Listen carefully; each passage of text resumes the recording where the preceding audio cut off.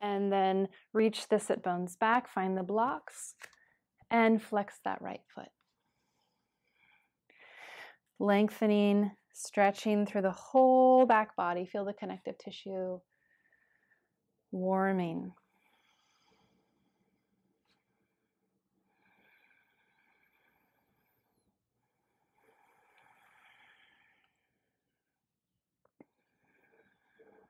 Reaching forward with the heart, soften through the jaw. And then we're going to switch sides. Step the left leg forward. Blocks come on the outside of the feet. You're going to tuck your right toes under and straighten that right leg.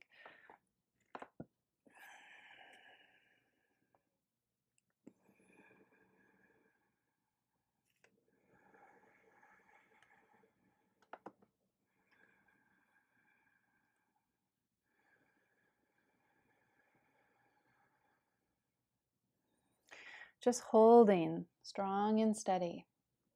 Feeling the left hip getting strong, feel the back getting strong.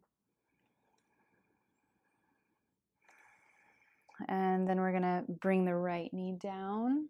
If at any time you need to have extra support, you can slide a blanket underneath the kneecap. Um, I'll show you how to do that. So you can grab a blanket and uh, bring it directly underneath the knee. I actually like to have my kneecap slightly in front of the blanket because my knees are very sensitive. So it's not touching anything.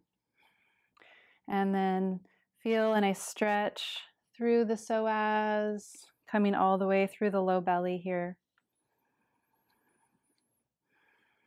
And then draw the inner knees in and bring the arms up overhead. So again, we're going to keep the elbows reaching and bend the elbows so that you come into a nice tripod position. Getting comfortable with this. This will help to strengthen upper body, upper back. And then shift the hips back. You're going to tuck your left toes and reach the foot forward.